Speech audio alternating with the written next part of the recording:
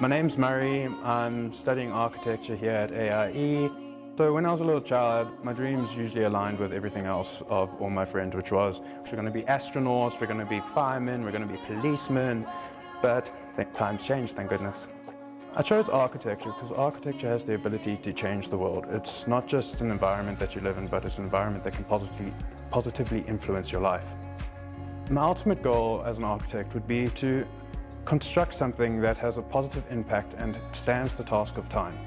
So something that will last through the generations and not just in 10 years time it will be out of date. If I had to describe my personality in one word, it would be outgoing.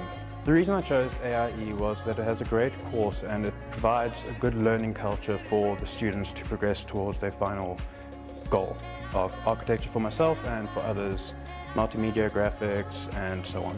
If South Africa was a person, I'll tell them every day is a new day for growth.